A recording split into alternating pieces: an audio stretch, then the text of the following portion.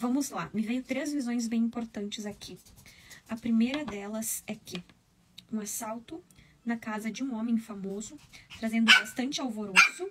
que foi, Júpiter? Vai lá com seu pai. Fabrício, chama ele um pouquinho. Vai lá com o pai.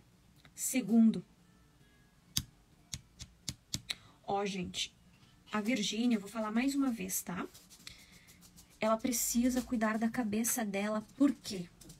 Ela pode desenvolver um tumor ali perto da hipófise, aonde eu vejo que é, tipo assim, aonde tem a questão desenvolvimento hormonal. Tá? Só que ainda os médicos não encontraram. Eles podem passar a encontrar e trazer muito sofrimento para essa jovem.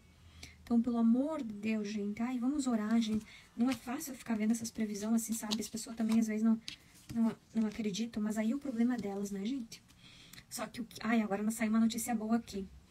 É, gente, eu vejo um juiz ou uma autoridade, ele vai, ele vai, como é que é, inserir uma lei ou ele vai autorizar uma lei aonde beneficia muitos trabalhadores. E isso é muito bom.